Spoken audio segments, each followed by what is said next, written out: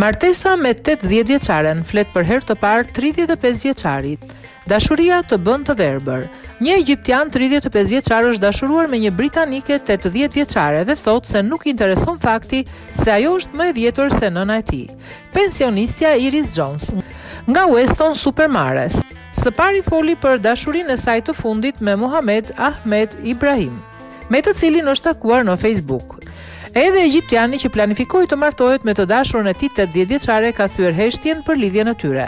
Ai thotë se dashuria të bën të verbër. Muhamed, pavarësisht se partnerja aktuale është 20 vjet më e vjetër se nëna e tij, 35 vjeçari, është kokë e këmbë i dashuruar me të. Kur je burrë dhe dashurohesh me një grua, nuk ka rëndësi se sa vjeç është ajo. Apo se si duket, ka thënë ai.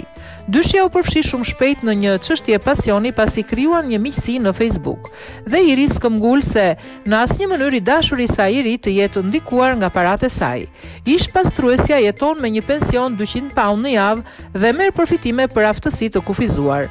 Ndërkohë, duke folur për shtëpinë e tij, Në Giza, Muhamed pranoi se shumica e njerëzve kanë qenë skeptikë, por kur ai më në fund u njoh me Iris, ata kanë rënë në krahët e njëri-tjetrit. Nuk është pamja e saj që më intereson mua, por ajo se çfarë ka brenda saj. Ajo ka mendje dhe zemër të madhe dhe është shumë e dashur. Mund të duket pak e çuditshme të kesh një grua që është njëzet vjet më e vjetër se nëna jote, por kjo është dashuria, ka thënë ai.